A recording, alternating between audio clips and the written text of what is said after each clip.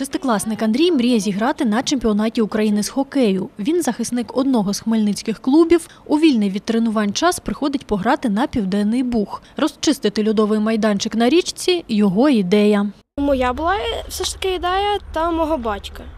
А потім він е, потелефонував е, ем, ну, другу, і ми, от, ми прийшли і цей от, ем, катаємось, даємо паси, там граємо. Хмельничанин Сергій професійно в хокей не грає та з не меншим запалом вдягає ковзани, бере в руки ключку і виходить на лід.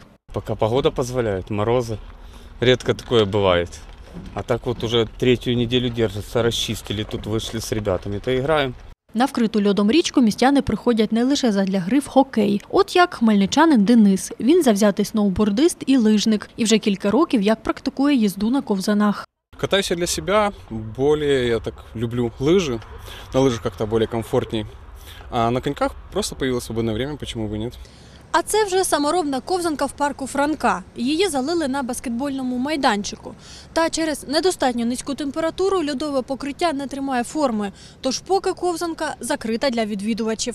Загалом в обласному центрі планують зробити щонайменше чотири безкоштовні ковзанки, якщо тому сприятимуть погодні умови. Один майданчик це в нас парку Франка на баскетбольному майданчику.